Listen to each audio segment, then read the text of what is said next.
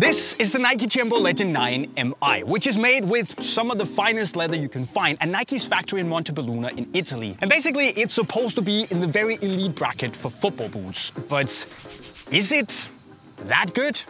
Well, in today's video, I'll tell you everything you need to know about the boot, of course, show you what it looks like in action on the pitch, and hopefully help you decide whether you should buy a pair from our website, in the link right up there, or not. So, andiamo!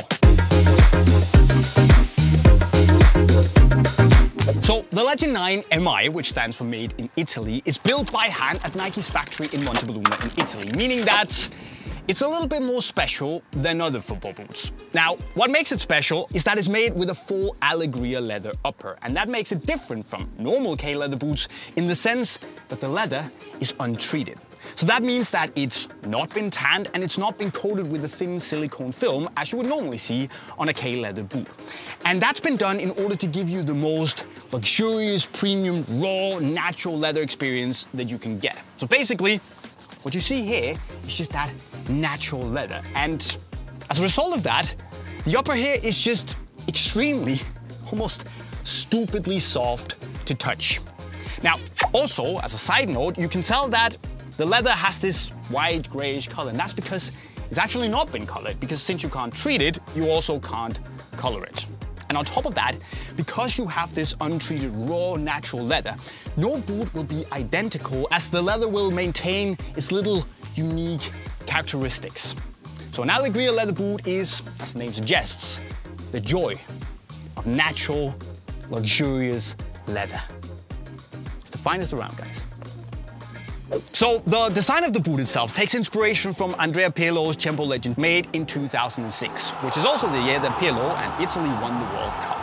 And to mimic that OG boot and the look of that OG boot, Nike have taken away the touch pod on the front part of the boot and kept it completely clean, like we saw back then except a part, of course, only from the stitchings that again mimic the look of the stitchings on the Legend. Now, of course, on the inside, you still have the touch pod, but instead of having those little silicone textured dots like we see on the normal Legend 9, which would be difficult to have there because it's untreated after all, you have these laser-edged little holes, that little pattern to give you the feeling, at least, of a bit of texture. And again, it's all done to highlight the quality of the leather itself. It just feels very plush and luxurious.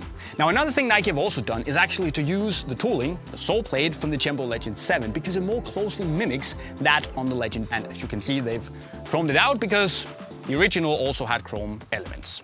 So all the historical references are there. The premium upper is there and it's been built by hand by some of the boot maestros out there. On paper it looks, looks pretty good, but does it work? In short, I would say that yes, it works. I expected the leather and the upper to be very soft and well, it is very soft. However, and there's a little but here, if you remember the Hypervenom GX that was also built in Montebelluna back in 2017 and kind of set a new standard for upper softness because it was just knit and Alegria leather. I would say that the Legend 9 MIs don't exactly reach the same wow, this is soft out of the box heights. But the good thing is that it only took me a couple of sessions for the leather to really soften up and soften up a lot to the point where now I would say that it's earned the label of buttery soft. So sure, you just need like to, to break it into activate a little bit, but if you can give it those few sessions, I would say you can definitely feel how the boot has been made with the love of softness and that pliability that only a high quality leather upper can give you. And it's just super comfortable in almost that custom-like way where you feel the leather instantly molding around your foot. So if you can give it a little bit of time to win you over, the comfort, it's pretty impressive. The touch is also pretty nice. It somehow screams elegance when you get the ball on your foot. And I think part of the reason for that is that, well, there's basically not much going on on the toe box. So it's just you and the ball and this very direct feel. But with that soft padded sensation, like a dampened feel that only a leather upper can give you. And also Nike have given you a full one-piece leather all the way from back here and up until the cutting point on the outside of the boot. So that's a nice touch for the touch. pun intended. Terrible. Sorry about that one. But anyways, it's also got this interesting tactility to the upper. Normally you would have that slightly sticky sensation from the silicone texture on the boot, but since it's untreated, it has this natural, almost like, it's not sticky, it's not grippy, but it's it feels like there's a natural sense of control to the leather that just feels so, so elegant and actually gives me a little bit of confidence when I'm on the ball. So if you think that the pods on the normal Legend 9 are a little bit unnecessary, this is a nice, straightforward, no bullshit alternative that is really for the traditionalists. Now as for the durability, thankfully they seem to hold up pretty well, but it's far too early for me to judge on. Um, so far though, I'm not too worried. But, and there is a but, because the Legend 9 MIs aren't perfect. Surprise, surprise, no boots are perfect, but my problem with these is that I would have liked more lockdown and stability. Sure, it's okay and is not a deal-breaking problem per se. But the combination of the fact that the upper doesn't have a ton of structure and also the fact that the insole is I mean, I want to say a little slippery, but it's pretty slippery. Means that I would definitely say that a grip socks, for me at least, is a must if you want to get that secure, high performance feel in these. Or if you have a pair of Legend 7s, 8s or 9s, you can take the Nike Grip insole and just replace the... It looks nice with the Montebelluna logo and all, but I would just go with the old ones. And grip socks, and you're in business. But it could be better. Mamma mia!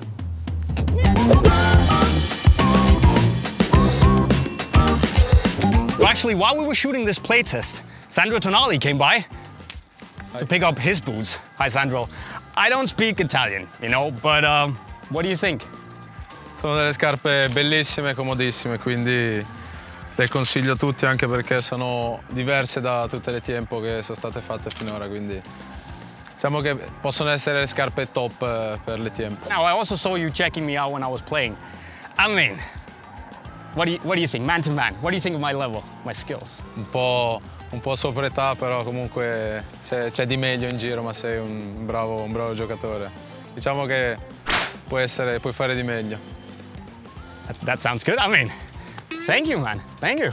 I'll, I'll take that. I'll take that. Sandro Tonali, you heard the man, yeah? I'm just saying. So, Tiempo Legend 9 made in Italy. It's got that little extra something about it. And sure, it might also be a little extravagant. Some people might say over the top.